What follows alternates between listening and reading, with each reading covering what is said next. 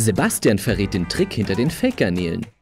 Perfekt, wie das klebt. Mm. Wir zeigen, wie einfach man Kunden mit Surimi hinters Licht führen kann. Surimi. Kennen wir alle aus dem Supermarkt. Sieht irgendwie witzig aus, oder? Aus dem Japanischen übersetzt heißt Surimi zermahlenes Fleisch. Nur, welches Fleisch? Surimi besteht aus Fisch, der auf anderem Wege nicht mehr vermarktet werden kann. Und damit der zu Surimi wird, muss ich ihn erstmal in seine Einzelteile zerlegen. Eine Idee ganz nach dem Geschmack der Lebensmittelindustrie. Ganz in weiß mit einem Tablett voll Fisch. Surimi gibt es seit Jahrhunderten. In Japan ist es eine traditionelle Spezialität. Damit wir an das pure Fischfleisch kommen, müssen wir jetzt erstmal alles grob separieren. Deswegen, Achtung, es wird jetzt schmutzig. Das Filetieren von Hand würde bei so kleinen Fischen viel zu lange dauern und wäre auch viel zu teuer. Hiermit geht das wesentlich schneller. Was Sebastian Lege hier macht, geschieht normalerweise noch auf hoher See, direkt auf den Fangschiffen. Die Fische werden ausgenommen und dann mit Wasserdruck in ihre Bestandteile zerlegt.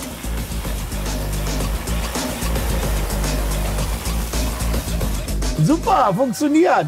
Und wie man sehen kann, bleiben dann nur noch die Gräten übrig.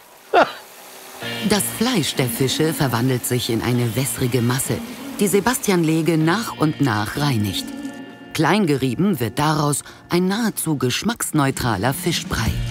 Der lässt sich in jede beliebige Form bringen. So.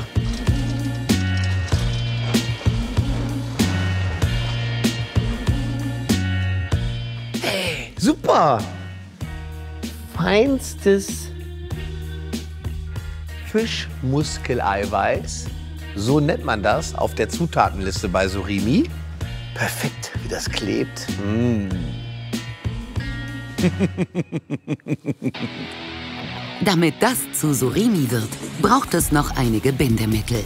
Phosphat und modifizierte Stärke sollen den Fischbrei später in Form halten.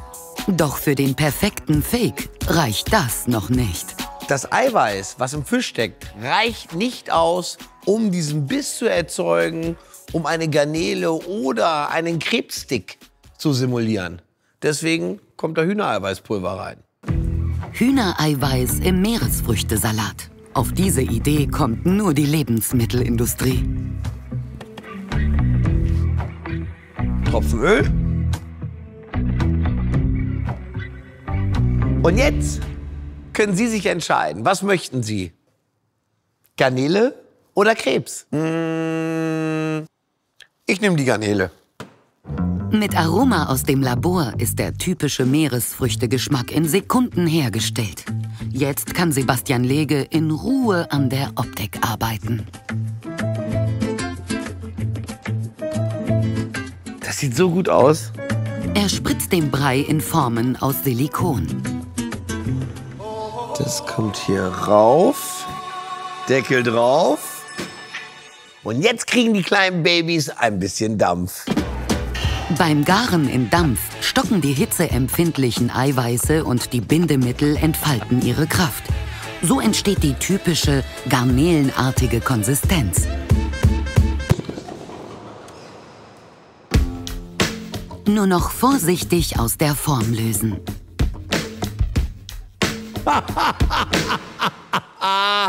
Hier. Diese blassen Würmer gehen so noch nicht als Garnele durch. Was fehlt, ist eine ordentliche Portion Farbe. So, Jungs, jetzt gibt's mal richtig Lack hier. Haha. Wie sagt man doch so schön, das Auge ist mit. Die Produktion von nachgemachten Garnelen aus Surimi ist ziemlich aufwendig. Dafür sind die verwendeten Zutaten extrem günstig. Im großen Maßstab hergestellt, lohnt sich der Aufwand für die Industrie, vor allem wenn die Kunstprodukte als echte Garnelen durchgehen.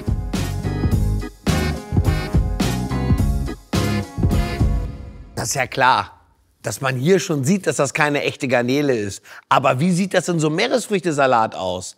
Ich behaupte, das merkt keiner. In Düsseldorf will Sebastian Lege den Beweis antreten. Zwei Meeresfrüchte-Cocktails hat er im Angebot. Einmal mit echter Garnele und einmal mit gefakter Surimi-Garnele.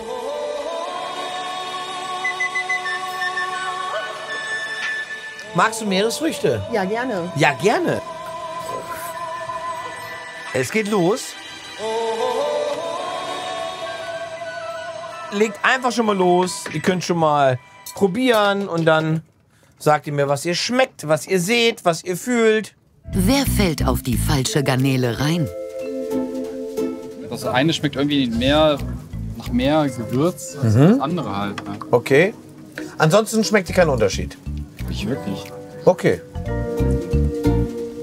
Also das sieht aus wie Teile von Shrimps.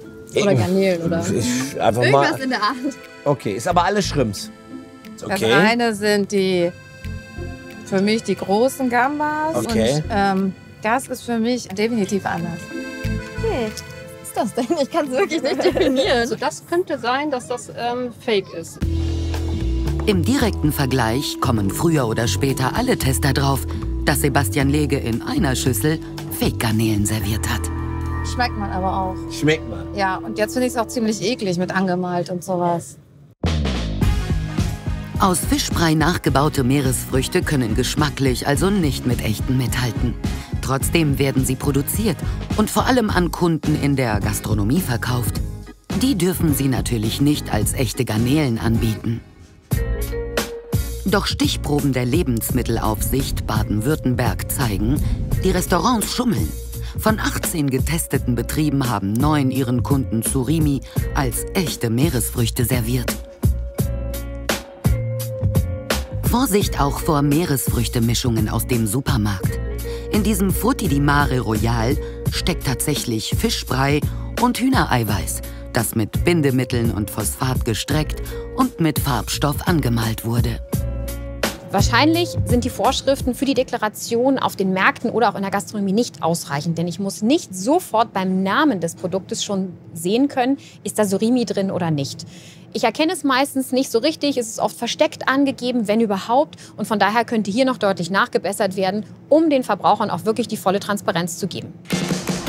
Falsche Meeresfrüchte gibt es häufiger als gedacht. Die Verlockung ist groß, Kunden damit hinters Licht zu führen.